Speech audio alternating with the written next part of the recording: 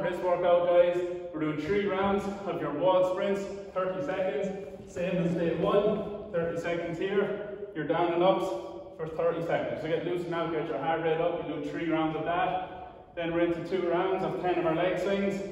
On your first round, just do forward, your second round, going side to side, about 10 leg swings each leg. Just a quick quad stretch then for five seconds on each side, maybe three to five rounds of that one or sets. And then we're into five squat to stands.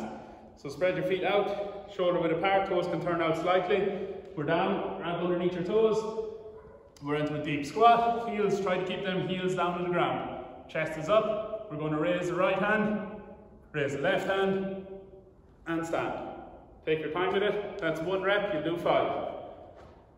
Our hip openers, we're down, your kneeling position, both hands are on the ground to the inside of your foot. Rock forward and back five times, rock side to side five times. Then we're reaching the outside hand under, open up your chest, we're up and around for five. There's one, and then five with your right hand up and around. Same thing then on the opposite side, five of each of those with the left. And just some ankle mobility.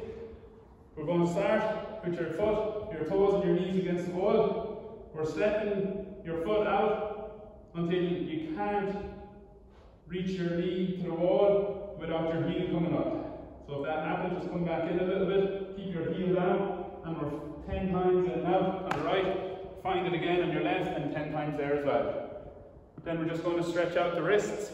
You'll be down on the ground, just leaning forward and back for a couple of times on it, spinning them around so your fingers are facing towards your knees, leaning back and forward.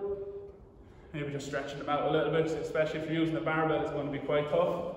Um, two rounds of all then. Then you're going to be into your thrusters and burpees themselves to get the heart rate up, get prepped for the exercise.